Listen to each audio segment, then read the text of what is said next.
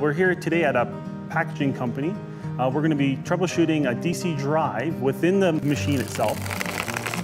We use the Fluke Connect uh, series um, meters to help us to uh, make up for that um, loss of manpower that we have sometimes. The main cabinet is actually inside the machine. It needs to be locked out before we can go into the machine to get at the main cabinet. So we're going to use the Fluke Connect so we can be outside of that area. Uh, sometimes uh, with our different service calls, we get uh, called into where equipment is in confined space and we can't enter it. We're going to use our uh, smartphones to monitor the different readings. I have another electrician. He's going to be at the front of the machine. He's going to be using buttons, uh, monitoring what he does and how that affects the readings. I'll be using it at the end and seeing what the product looks like with corresponding to the readings of the motor.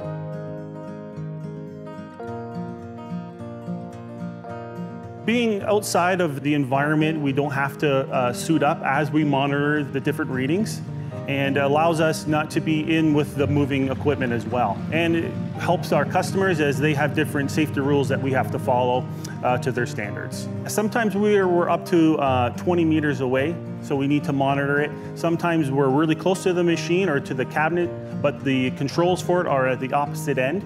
But we need to see both how the motor works or whatever the issue is and what the operator is doing on the front of the machine.